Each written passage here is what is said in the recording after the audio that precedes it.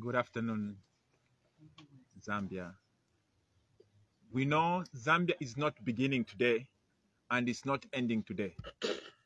We know President Hakainde Hichilema was given a mandate to carry on on the development of Zambia to make it a democracy that will shine and bring accolades, that the world may see that something good, something great can come out of Africa. And that has been our prayer.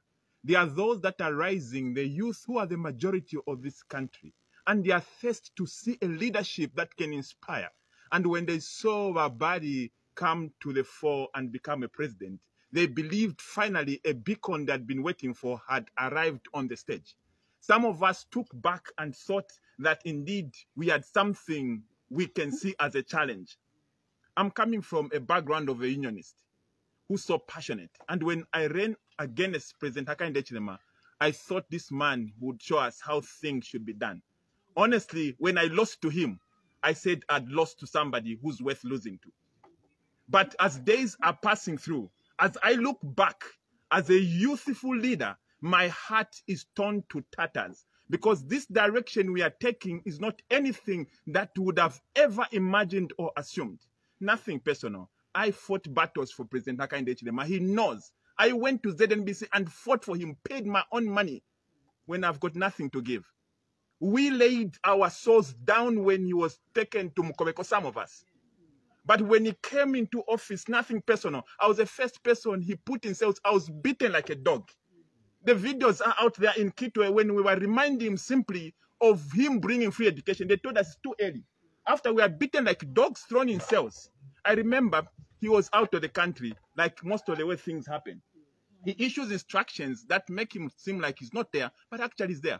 I received a phone call from his aide. That should have been from UK. And that time we were in cells, being beaten for simply reminding. We thought he was just getting started and probably had not gotten root of the control of government because he was basically new.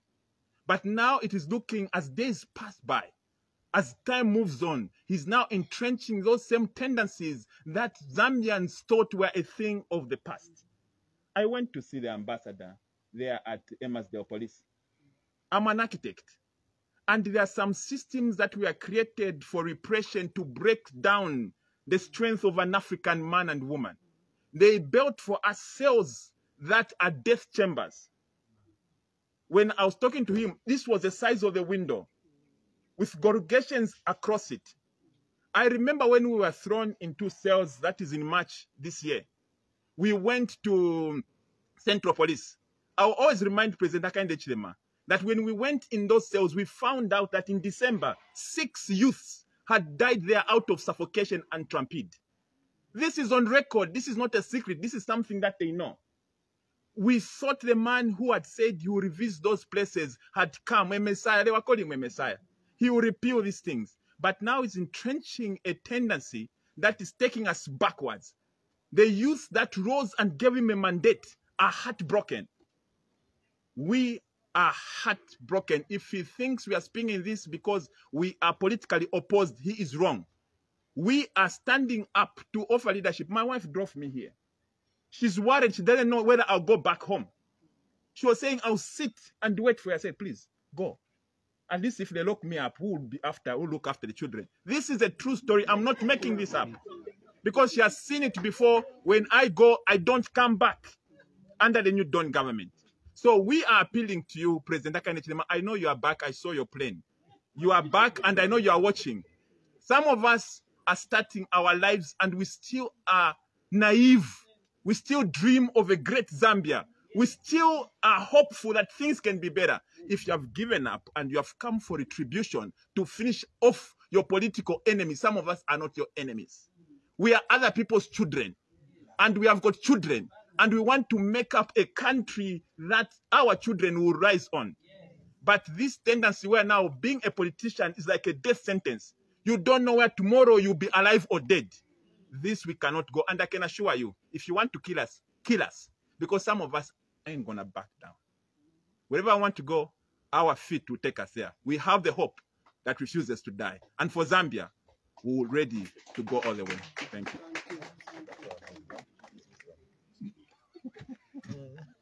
we're, we're now going to have um, the PF uh, acting president, Honorable Lubinda.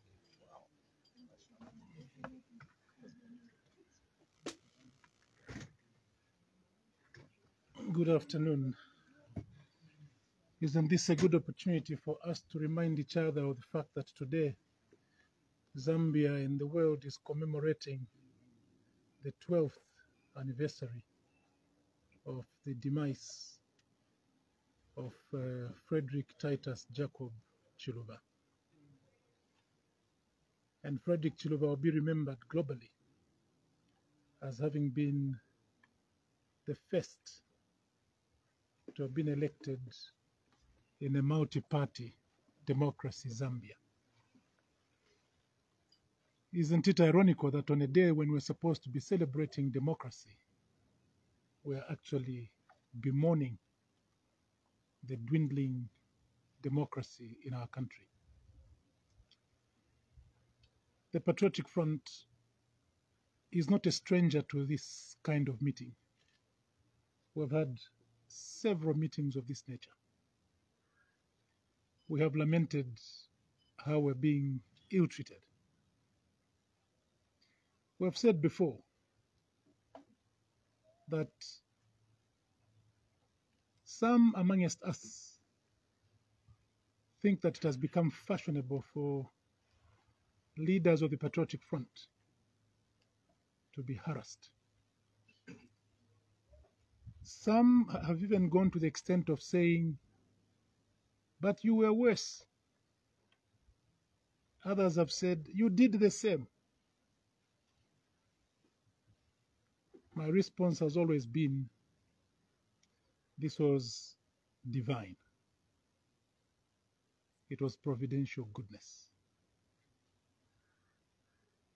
You cannot miss something unless it is gone. And you cannot compare one that exists with one that doesn't. In these few months, Zambians have been given an opportunity to compare and contrast. And for those who have given it to themselves to say, PF, don't complain because you did the same. I have a message for them. Development is the essence of leaving spaces better than you found them. When you leave them the same way you found them, you have not developed. Especially when you make them worse than the way you found them. The past cannot justify the ill treatment of one another. Had that been the case, Christ would not have died on the cross for all of us. I want to assure all Zambians that Hakainde Hichilema's agenda, the UPND agenda, fits squarely in the comment of our founding father,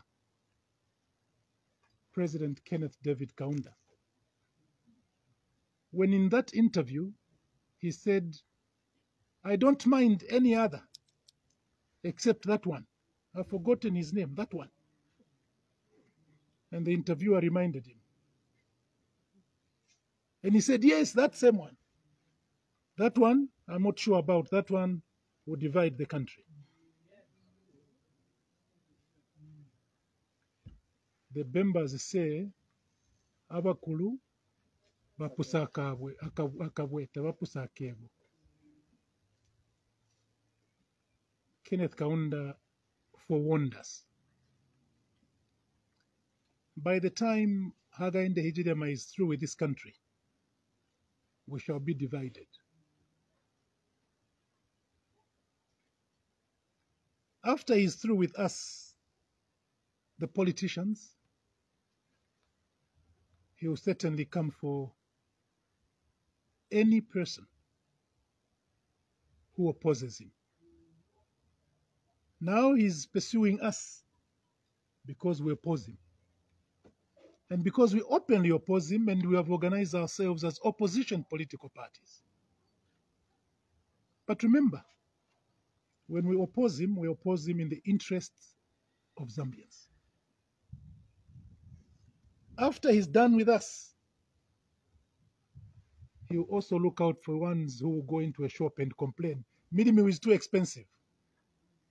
They will also be his targets.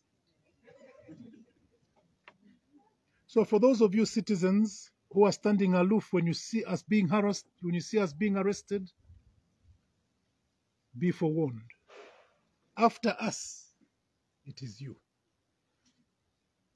Time has therefore come for all of us Zambians, all of us citizens, to stand up and to defend the rights of every other citizen.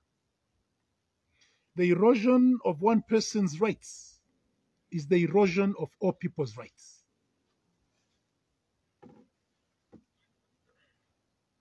The one thing that I can assure citizens about is that the Patriotic Front shall not be cowed. We in the Patriotic Front have given it to ourselves to continue to mobilize, to continue to speak on behalf of the Zambians. We join our colleagues in the other opposition political parties because we know that there is strength in numbers. We therefore call upon all of you citizens. Time has come. The call to action is now. When you hear of any person being brutalized because of their political standing, and you look the other way, you should know that you are complicit to the destruction of democracy in this country. Time has come for every Zambian to stand up for a fellow Zambian. Had it not been for these people raising concerns, Hakainde Hichilema would have made all those farmers who grew soya to have it burnt. But because these people spoke, at least he has now agreed to pay at least six kwacha from 11 kwacha. Hadn't it been for these people's voices, those farmers would have gone without anything. So when we speak, we don't speak for ourselves, we speak for you, Zambians. My message to Hakainde Hichilema is that he is not the first thing to happen to this world. He is not the first thing to happen to Zambia. He is not the first president of Zambia. I know he, like, he likes fests. Yes, he's the first president to go to Ukraine and Russia to go and be among us people who are going to mediate. And yet he himself had already taken sides in that conflict. He himself voted against one of the warring factors. And then he goes and says, I want to come and mediate. My message to him, my friend Hakainde, two things. If you want to be a mediator in conflict, maintain neutrality. We advise you to be neutral over the Ukraine Russian war because Zambia is too small to get involved in such conflict. Instead, you departed from the long held position of non alignment and voted against one in favor of the other.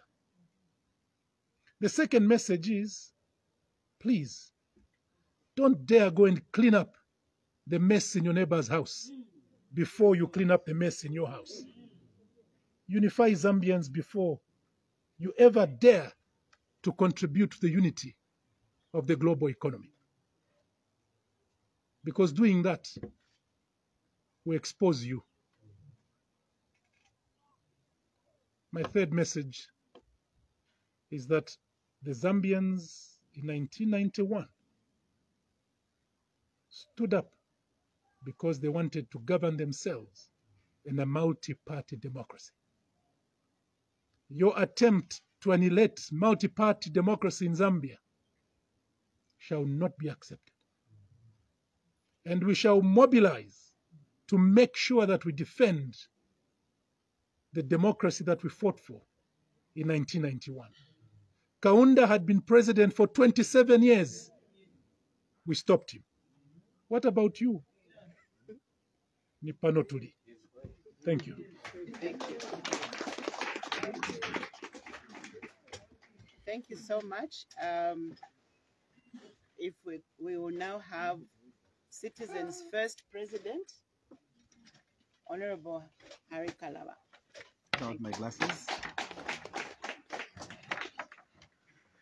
Uh, thank you very much, and uh, uh, thank you, colleagues, for what you have uh, said. Uh, and I will try to ride on uh, the many things that you've said. Uh, as I was coming here, I received a barrage of calls uh, from people telling me, "But why are you going for that press briefing? Why do you want to go and mix with the PF?" Uh, because uh, even the PF were brutalizing others when they were in government. And I said, "Oh, okay." Uh, here is uh, my message to those colleagues. I thought I should use this platform.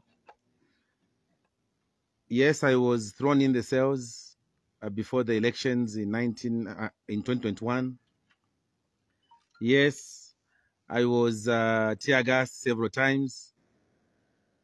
But picking the words of uh, President, uh, I mean, acting President Lubinda, one wrong does not make you also to begin doing a wrong and want to justify it. Zambia now is at the crossroads.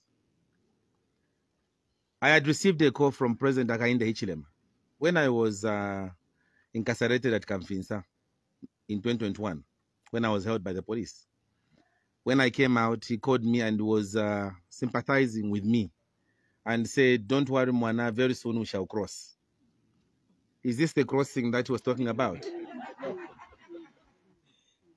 Yes, we have crossed. And now, as long as you are a political opponent, you are being targeted. This is not the Zambia that we thought we would have. Yes, we have crossed. Institutions of governance are being used to oppress all of us seated here. And as President Lubinda had said, today it is Harry Kalaba, tomorrow it will be you. Yes, we have crossed. But clearly you can see that the democratic space in this country is fast shrinking.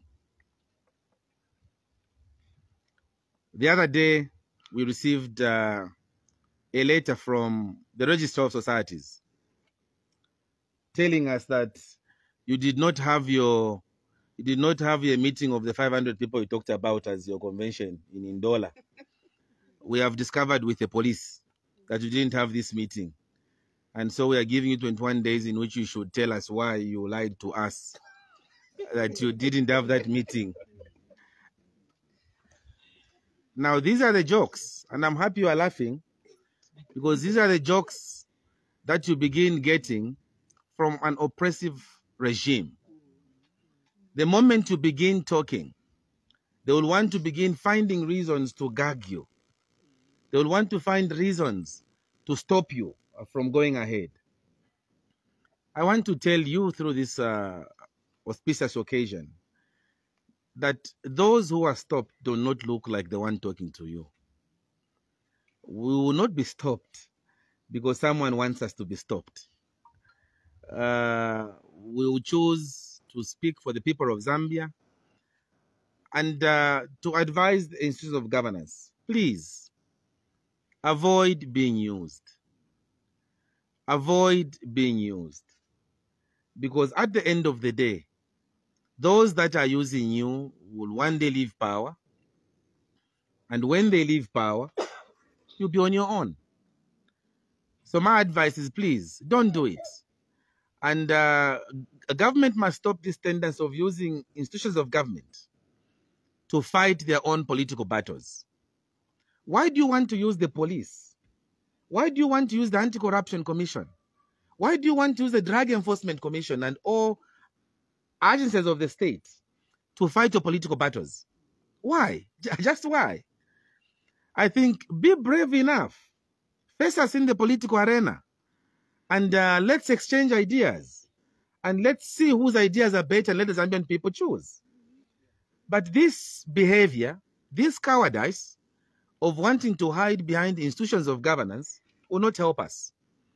And today we are seated here because one of the opposition members, and several of them, as I sit here, many have tested uh, ourselves here. If you have not tested cells, Madam Kateka, be ready. Because under this regime, for as long as you are seen no, and not to be politically correct, they'll come for you. Why are you mixing with uh, Harry Kalaba? Why are you mixing with Given Lubinda? Why are you mixing with Mwendakason? They'll ask you those questions, and then you're not politically correct, and then they'll come for you. But we need to be strong, uh, colleagues seated here. We should not be sell out when the country has reached the crossroads. Where I come from, they say, "Pafu abantu, pashala abantu." Zambia must know there are some people who talk for them, regardless of what comes ahead. Mm. And that is the resolve that we have made.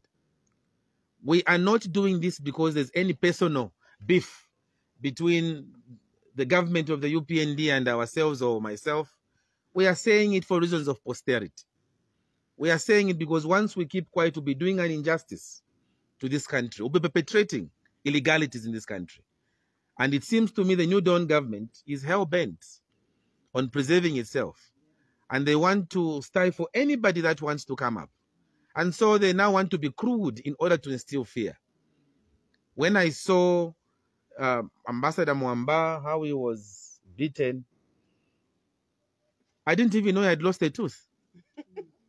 Until this uh, afternoon when he was showing me that, no, my tooth is gone. I said, you are lucky because the tooth which has gone is this one here. If it was the front one, you would have known what a natural whistle uh, is all about. But we are not here to defend anybody. We are not here to say if Kalaba makes something wrong, he should not be pursued. If I am wrong, let me be dealt with because the law is blind. But at least follow the law. If you've been talking about the rule of law, at least follow the law. And then Zambians will know that at least you are doing things in the correct way, as opposed to what we are seeing, because now it is vindictiveness, it is uh, political scores to be settled, uh, it is you are in the wrong camp, therefore you cannot be part of. Uh, Zambia is being divided every day. And yes, it is true. We are now a divided nation. We are more divided than we have ever been before. And we can't continue on this trajectory. We can't pretend that we are a united country. We are divided. And we are calling upon the powers that be to ensure that we come together. Because there's much more that brings us together than what divides us. And so we'll be speaking about this because, regardless of where you come from, colleagues, we are all Zambians. Regardless of who you are, for as long as you belong to this part called Zambia, you should be treated the same and equally so. So we are asking the authorities that be please unite us. Don't divide us uh, on the basis of tribe, on the basis of region, on the basis of political affiliation. Regardless of which party you belong to, you must be looked at as a Zambian. And that is what we're advocating for. And so we hope today this message is loud and clear and that the powers that be have heard. Stop the arbitrary use, abuse of state institutions. Let the police be professional. Let the Anti-Corruption Commission do their job without being coerced. Let the Drug Enforcement Commission do their job without being coerced. This issue of pointing at people, go for that one, go for that one, is wrong. Last but not the least, I also want to encourage the international community. The international community must not remain silent. They were very loud in the previous regime. They were calling out the PF for who they were when PF was in government. What has changed now? The voice of the international community is almost muted. We would want to hear the Americans speak more. We would want to hear the European Union. We would want to hear the, the British speak. So that because an abuse is an abuse. A brutality is a brutality. and it must be condemned. It, it should not be because you've got the right person according to your standards in power, therefore you should be muted. It is important that sin is identified by what it is. Sin must be called sin. And so, therefore, we are grateful that we are able to see that amidst this, we in the opposition now should begin to getting together. We should begin talking more often than not so that we can face the world together. Thank you very much. Thank you. Well spoken, President. Well spoken.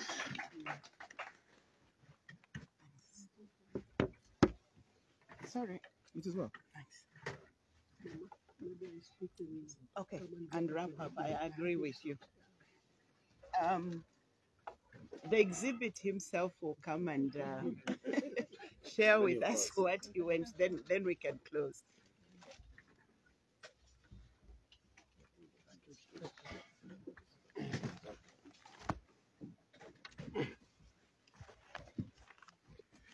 Uh, thank you to our leaders uh, that are here and that have risen to, you know, condemn the action that was done against me.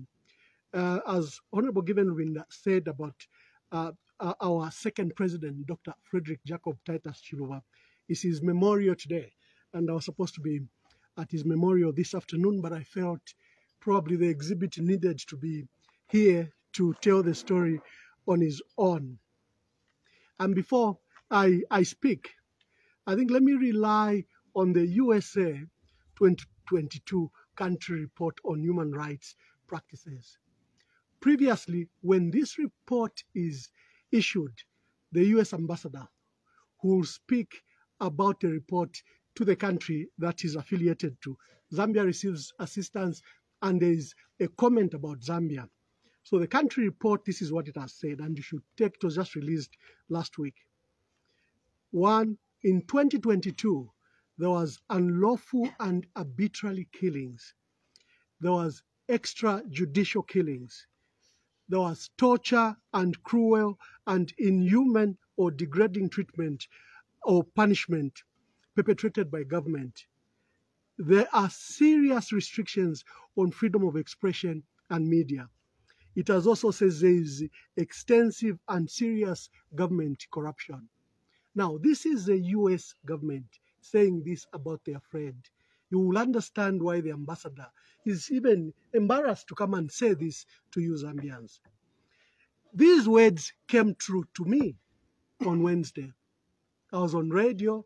When I finished appearing on, on, on radio on Wednesday, that was um, uh, uh, uh, uh the 14th, as I was driving out of the radio station, I saw a green Fortuner.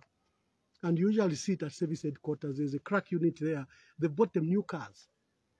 I looked at it, but there was an Indian driving in it and he had a, a phone and a laptop. So I think that disarmed me. I said, ah, I think I'm just mistaken. I went to the lawyers, um, you know, in Roma. Uh, of course, to alert them, you know, one, one of our bloggers, two of our bloggers were arrested earlier in the week, and I wanted to get an update of how the matter was going. Because earlier we had expressed concern when Mr. Thabo Kawana held a press conference uh, the previous Friday. He mentioned the Patriotic Front and Mr. Fred M'membe, even before investigations were done. And for the Patriotic Front, we are not even the first one to publish those letters. So we, we were we are taken interest why Thabo Kawana was mentioned in the Patriotic Front. For me, you know, I publish on my own pages. I didn't even publish those letters because I didn't find, especially the two letters, credible. So after seeing the lawyers, I was driving out. I saw the Fortuner again, the same Indian in it. I realized this matter was serious. I was being trailed. But I, I laughed. Why would you spend so much money to conduct surveillance on someone who's readily available in plain sight. There was something I was doing in Long Acres. I came near Hot FM there. When I was driving out, again I saw the same car. It was at that stage that I called my wife. I said, Can we meet home? In my heart, I was saying, If anyone is looking for me, I think the best place to find me should be my home. So she was in town. She said there was traffic and she was coming up, coming, coming later. I mean, coming in traffic. That is the reason I decided to go through the car wash. My car was dirty. I didn't wash it for a few days. Uh, I went at the car wash on Mosi-oa-Tunya Road after Lewanika uh, shopping mall. There's a, a, a, a, a car wash called Jammy's. So I parked and I went into the shed. Within a few minutes, these three cars stormed in and people came out. I think there were about 12. I looked, I, I, I was not bothered. If you've been on that road several times, you'll understand that that's a road that the president uses all the time. And they're usually, usually men in plain clothes or policemen that would come to do the route lining. So I, I, I didn't bother. But I saw all of them coming to where I was seated. So I stood up. And then, because of the trailing, I asked, Are you guys following me? So I saw the, the, the gentleman who was in front, who I now suspected was a police officer. He says, Yes. He says, He addressed me ambassador. I said, Okay. But why didn't you issue a police call out?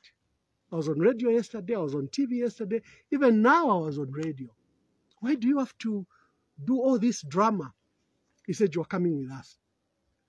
I said, Okay, that is fine. But allow me to call my lawyer and allow me to inform my family. I think that's where the confusion started because they wouldn't let me make that call. They all came round me and attacked me. They were trying to get the phone. I managed to dial, the phone was on speaker, and my wife answered. But I calmly told her, even if I was being fought, my hand were being tied, they were pulling me. I said, I'm at the car wash here on, on, on, on uh, Mosi-oa-Tunya Road. She knows it. We wash our cars there. And the police are here to pick me up. In fact, I didn't say the police. I said men calling themselves the police. Because at that stage, I didn't know if they were the police. They showed me no ID. The cars they came with were private. They had no number plate, and 12 of them surrounding you. So at, you, you, you, you are not sure, even when these men are taking you, that they're taking you to a police station.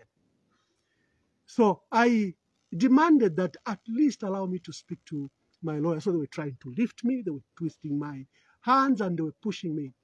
When they pushed me to the car, there were three women filming, especially the pregnant one. I felt very sad for her because the way they went and attacked and yanked the phone from her, and I think they also picked her up.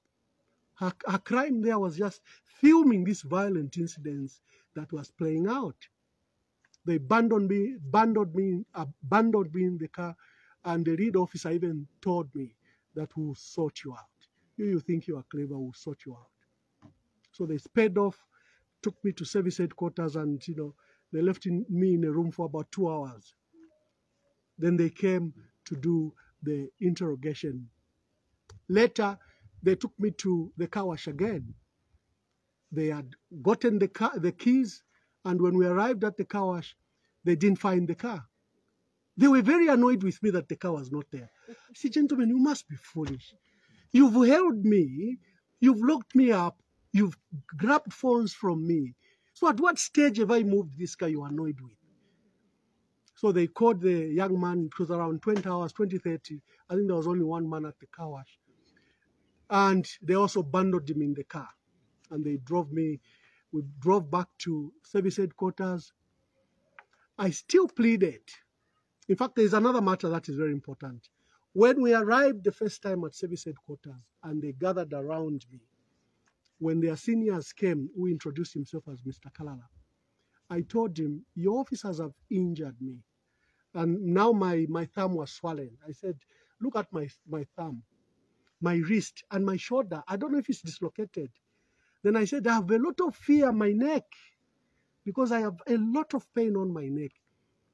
When they were trying to force me in, they come a bit tall. And you know where they're trying to collapse you into a small bag. I think that's where they really did a lot of damage on my right side. So I complained. I said, I need to see a doctor. I'm worried about the pain on my neck. He said, uh, Ambassador, he was a bit respectful. We'll let you see a medical doctor. It didn't happen. They took me to Emmasdale Police. No one knew where I was. Lucky enough, Honorable Given Lubinda and the other MPs had now heard that I was abducted and they were looking for me. They didn't know where I was. At the police, they gave strict instructions. They, If anyone came that I was there, they should refuse, and no one should see me. Um, at the police, I asked that I needed to go to the hospital. They refused. They said that it will be done tomorrow morning. I said, I'm worried about the pain in my neck. I think that shouldn't wait up to tomorrow. Well, they just booked me in and locked me up in this cell. The cell is a very small cell, as uh, my dear brother Kasonde was saying. Separated, there are women there. It must be trauma for the women. There are men, women, and a small area. If a woman is bathing, I would see her. And in a small cell, we are 30 of us. You can't sleep straight. You you are locked, interlocked like this, because there's no space. So they put you there, and the police officer, the one uh, uh, who, who was leading, had warned me. He had even used Bemba tawaeko kuma Ibex na kuma woodlands to Mitwala. And when I entered the police cell, I understood what he meant. First, it was very heavily congested. There were a lot of people with flus. You don't know if it's TB, if it's uh, if it's COVID. You have no idea, but you are in a small space that you have to endure. I was, I was not able to see anyone. I didn't know what was happening until the following day around 10, 11 hours when they allowed Honorable Makebi Zulu, my lawyer, to see me. Even there, I was from Wednesday, Thursday, Friday, I was not allowed to seek medical treatment. The following day, the pain, my, the headache became very, very severe. And I pleaded that I, I be allowed to uh, uh, see a doctor. One of the police officers brought medicine. Now, the police officers have just beaten me, brutalized me. Can I take their medicine? Can I trust their medicine? So they said I should take the painkiller.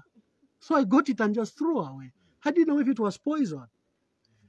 Um, finally, when I was uh, given the charges around uh, 17, 18 hours, and I was released on um, uh, police bond, uh, I went straight to the investigating hospital where I was examined. There was confirmation that uh, there was a lot of soft tissue injury on my thumb, on my wrist, my shoulder, uh, and then I had a lot of bruises. I didn't realize they bruised me in the in the entire manhandling they were doing. I had a lot of bruises. Some of them you you saw them on uh, social media. And my tooth, that has uh, this tooth that uh, you know uh, wa- wa- was also removed. Now I want to say something with with your president, chairman, with your permission, because they've used these charges to attempt to scandalize me, to attempt to reduce me to a forger and you know um, uh, you are all aware that I've served as for 10 years I served as Dr. Chiluba's um, uh, uh, official spokesperson and administrator. I was privileged to have been permanent secretary, you know, in Northern Province, in, in uh, Eastern Province, in Western Province. I was permanent secretary at Ministry of Information and Broadcasting Services. I was also privileged to have been ambassador in South Africa. I was also ambassador in Ethiopia. I was permanent representative to the African Union, and I was permanent representative to uh, the United Nations Economic Commission for Africa. In an article that that uh, uh, two three weeks ago, Dr. Sishuwa wrote, he warned that Zambia had lost it, had, will likely lose its hard-won democracy. In his article, Zambia, the president's five-point plan to stay in power at all cost, why Hichilema is desperate to retain power. His first point was that Hichilema was determined to contain the Catholic Church. These were not my views. These were the views of um, of uh, Dr. Sishuwa. Three weeks before the so-called letters appeared. For those in the know, this so-called letter they are saying I forged on the 8th June has been in circulation for months, Mr. President. It's been in circulation for months. But they want to scandalize my name. They want to bring these charges that have been manufactured. Like Thabo Kawana says, before any investigations is done, he names the PF, he names Dr. Fred M'membe. This, these are the people who, for the moment, they've targeted, like they've targeted everywhere else. It's not that there are investigations that, that we are guilty of these offenses. No, it's a plan to bring these oppressive charges to attempt to break us. So this is what I've done. This morning, I went to the police. I've registered a complaint against especially the three police officers that were very brutal with me. But I've, uh, uh, uh, I've, advised that all of them should be charged for assault because I witnessed when they went into the crowd and they harassed the crowd to grab their phones and some pick, picked, picked up very brutally. I hope that the police can investigate. I have medical reports here to confirm what was done to me. And you members of the press, I can show you. Tomorrow in the morning, I'm going to the police public and uh, police and public complaints commission for the unprofessional and brutal manner I was arrested. I'm not above the law. I can be summoned. I can comply. But I think it is wrong for the police to brutally treat citizens in the manner they treated me. To manufacture charges. You heard that a police officer who brutally beat me, knocked out my tooth, he was the first one to report a case of assault. This is cover up. That's fraud. He should be arrested for fraud. So I want the Police and Complaints Commission to pursue those issues. And then I challenge the US ambassador to read the finding on Zambia in the 2020 US report. It's mandatory. Honorable Kalaba will tell you. Because when we receive assistance, then they look at our human rights record. They've been doing this since 1961. So the US ambassador must sit and read to you Zambians what they found about us. And in 2022, they found awful things. And let me repeat unlawful and arbitrary killings. This is under President Hakainde Hichilema's watch. He's president in the entire 2022. Extrajudicial killings. You hear the police have shot someone even before investigations torture and cruel and inhuman or degrading treatment or punishment by government. Mr. President, I don't know if you understand. At a Kawash, members of the public recognize who you are and in the manner I was treated. You can imagine the public humiliation. I don't know if there's even a price to that. The wounds will heal, but the public humiliation I went through, you know, uh, uh, uh, uh was was was great. So uh, Madam President, as I end, uh, I think that would be my call. So thank you. First, I'd like to, th to thank members of parliament, members of our political parties that have supported me. A lot of people called concerned. Thank you very much. And to the praise singers from the UPND, I feel so sad for them. They think that this should happen to us. And, uh, you know, that discourse is dangerous. Thank you very much.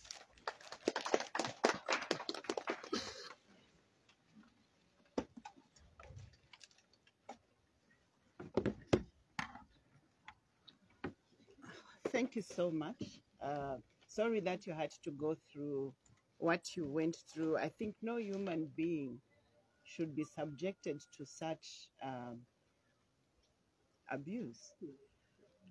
Um, members of the press, I think that we need to understand that yes, we we have come because of what happened to him, but the picture is actually bigger than that. This was just the final straw that caused us to say, we are now going to get together and do something about this because if we do not raise our voices, um, worse things than this can happen. In the past few weeks, we have had a number of opposition political figures arrested, detained, brutalized, and just harassed or intimidated by one wing of the Zambian security forces or another. Amongst those that have fallen short to this, um, these actions by uh, the government agents of the UPND include the sixth President of the Republic of Zambia, His Excellency Mr. Edgar Chagwa Lungu, and his family, President uh, Lungu's former political aide, Dr. Zumani Zimba, President of the Socialist Party, Dr. Fred M'membe, President of the EEP, Mr. Tayali, PEP President, Mr. Sean Tembo, and most recently, of course, we've just heard uh, Ambassador Mwamba, um, who was assaulted, abducted, charged, and arrested and denied medical attention. Even the clergy have not been um, spared. Uh, we all heard the recent insults and the threats directed at Father Salangeta and the uh, the Chawama parish priest, and Most Reverend Dr. Alick Banda, Archbishop of Lusaka. This list is by no means of, is uh, exhaustive because there are many other Zambian citizens who are of less prominence politically, so, so they're not in the public space, but they have suffered the same fate. I got a call from one of them today uh, who came out on Friday. I can't even remember the name, but these are people that are going through these things. The New Heritage Party has been warning this nation that about the danger that the UPND party in government poses to the unity and peace and future stability of our country by their violent intolerant, intolerance to criticism and the growing dictatorship of their leader, President Hakainde. We warned Zambia a few months ago that Zambia was sleepwalking into a dictatorship. Our warning is unfortunately proving true. What then should be done to stop this anti-democratic trajectory that the UPND is carelessly taking this country into? It is a very careless move. I mean, when you give somebody um, an opportunity to rule this country, you are saying to them, look, you can actually lift this country from this level to a higher level. But what we are seeing is, is totally different and unfortunately something that is very, very regrettable. Um, we condemn in the strongest term this cowardly and shamefully primitive strategy by the UPND to intimidate the opposition and Zambian citizens in general into silence. Um, I'm not too sure whether you remember what we went through in the First Republic, where you couldn't discuss anything. You know, you were afraid to talk about the government or the president or anybody. People were just afraid. That is something that some of us are definitely not prepared to go back to. And we are prepared to fight this to the bitter end. We cannot accept such oppression because that's not what we fought for. That's not the independence that we fought for. Um, unfortunately, the cost and damage done to individual citizens, even after the dictatorship has been removed from power, is usually irreparable, especially where there's a serious physical injury. Your tooth will not grow again, by the way, just so that you know. As for the country, there is damage to the democratic institutions of governance and the economy, amongst many. In the worst case scenario, there is the danger of creating a failed state, as is the case in some countries. In the case of Zambia, the civil society has either been bought or intimidated into silence, acquiescence, and even tacit corroboration, with some of the civil society voices actually cheering on the brutalizers and even justifying these barbaric injustices. However, the most damning indictment uh, for dereliction of duty by an institution which is funded by Zambians citizens is um, the Human Rights Commission of Zambia. This institution and its commissioners are the most treacherous, incompetent individuals to have ever been given this sacred responsibility. People's rights are routinely violated in this country, and one hardly hears a whisper from them. We haven't heard them. When somebody goes, human rights, regardless of whether somebody is a murderer or not, human rights are human rights. And it's important for these people to speak, but have you heard them speak at all? They are just quiet. We don't hear a single word from them. What are they doing? What are they being paid for? What are they doing in those positions if they cannot speak for the citizens? Um, to our fellow opposition political parties, we want to assure all of you unflinching, unflinching support whenever you are unjustly treated by a government party and uh, by the government in power and its agents. Further, we want to assure you of our readiness to be part of a more united front in adva- advancing the restoration of the full independence, independence rights of our people, including the right to unimpeded land ownership, freedoms of speech, assembly, um, association, and economic freedom. To the Zambian people, we pledge to be your voice whenever your rights and interests as citizens are threatened. To the UPND government, we request you to respect the mandate you were given by the Zambian people. Remember, by the ballot you came, by the ballot you will leave. I thank you.